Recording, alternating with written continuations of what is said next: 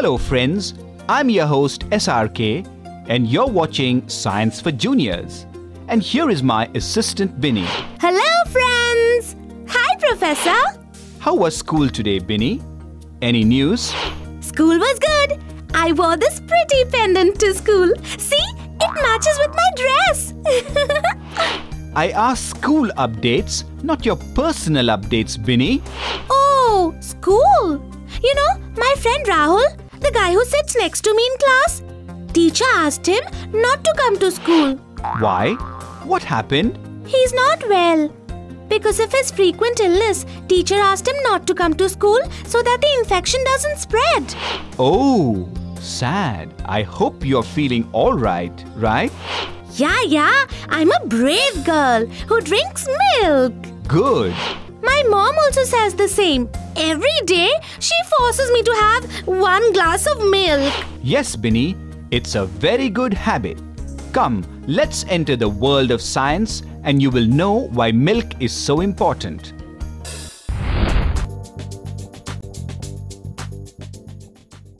Milk is called a complete food. Every mother wants her child to start the day with a glass of milk. Do you know why milk is considered a wholesome food?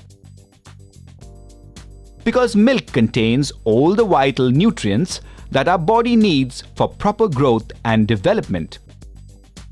Let's find out what nutrients are and why these are important to us in this module where we study about meaning of nutrition, nutrients, carbohydrates, proteins, fats, vitamins, minerals, deficiency diseases. The process of consuming food is called nutrition. Nutrition involves taking in of food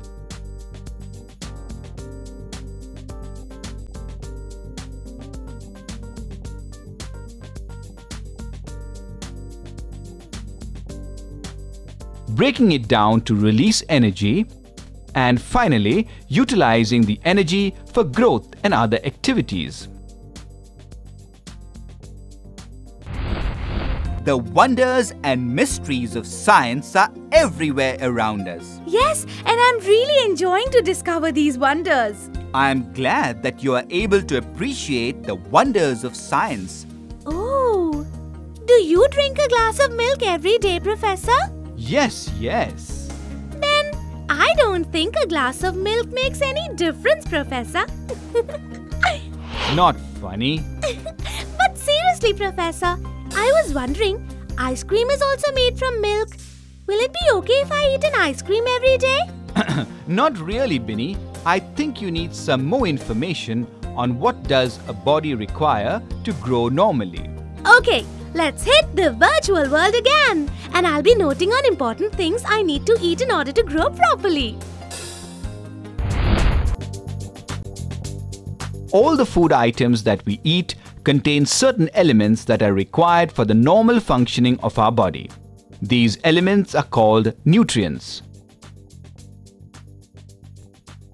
Nutrients can be in the form of carbohydrates, fats, proteins, vitamins, and minerals. Carbohydrates are the main source of energy for our body. Carbohydrates are of three types sugar, starch, and fibers. Sugar is present in fruits and is sweet in taste and easily soluble in water. Starch is present in food items such as rice, wheat, bread and is insoluble in water. Fibers are derived from plants like whole grains and vegetables. It is not digested by our body but helps in the smooth passage of food through the digestive tract. Just like the carbohydrates, fats also contain energy, but their energy content is twice as compared to that of carbohydrates. Ghee, butter, milk, eggs, meat are good source of fats. Proteins are made up of amino acids and they provide the building material for growth and repair of body parts. Professor, This was truly a very important session. I know, Binny. In fact, you kids should get proper nutrition and develop your resistance power also. Huh? What is that, Professor? Resistance is actually the power of our body to fight against infection. If your body is healthy, you have less chances of being infected. You mean Rahul is not well because his resistance power is weak? Possible, Binny. In fact, lack of any nutrient may also lead to deficiency diseases. Let's enter the virtual world again and I'll impart some more knowledge in this growing brain. Vitamins are found in our food in very small quantities but very essential for the normal functioning of the body. Vitamins are classified as fat and water soluble vitamins. Vitamin A, D, E, and K are fat soluble, and vitamin B and C are water soluble. Let's discuss important vitamins, its sources, function, and deficiency diseases. Vitamin A keeps our eyes and skin healthy. Deficiency leads to night blindness. Vitamin B complex affects growth and blood formation and also keeps nerves and skin healthy. Its deficiency leads to beriberi, pellagra and fatal anemia. Lack of citrus fruits cause scurvy. Vitamin D keeps our teeth and bones healthy. Its deficiency causes rickets. Leafy vegetables, milk and fish are rich source of vitamin E that keeps our reproductive organs healthy and slows down aging. Vitamin K is needed for the normal clotting of blood. Its deficiency will delay clotting of blood. Minerals are also needed by our body in many quantities for normal functioning of the body. Iron helps in hemoglobin formation, its deficiency leads to anemia. Calcium and phosphorus is required for making bones and teeth strong and for muscle contraction. Lack of iodine in our food causes goiter. Sodium and potassium helps in muscle contraction and maintains fluid balance and nerve impulse. Fluorine helps in tooth enamel formation. Deficiency of fluorine causes tooth decay. A diet that contains all the vital nutrients in correct proportions is called a balanced diet.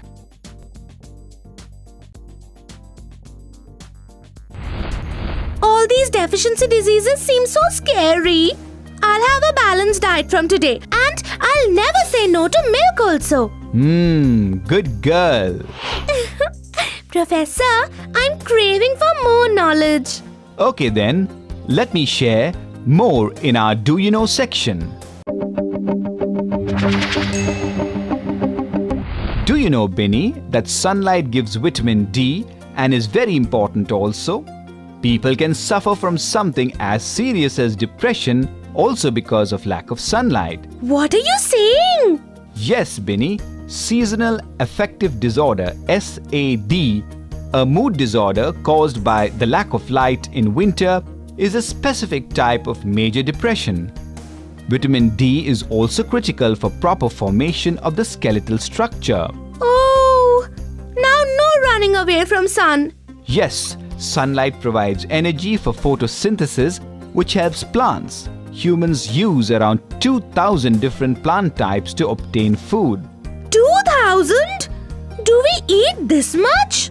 An adult human stomach can hold about 1.5 liters of material. But as people grow old, they produce half the digestive enzymes which are produced when they were young.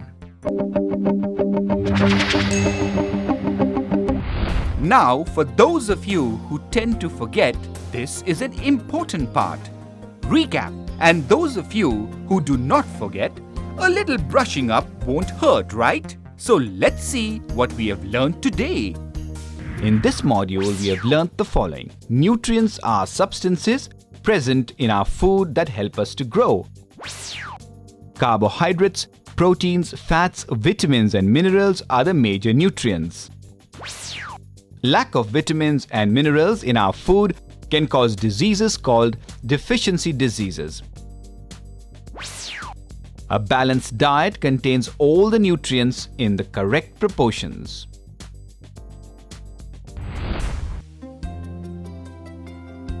Professor? Professor? Mm, Professor?